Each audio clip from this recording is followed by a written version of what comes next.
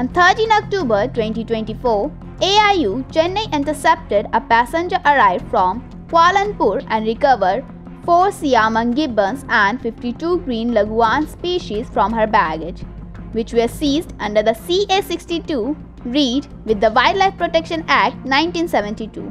The passenger and one receiver were arrested.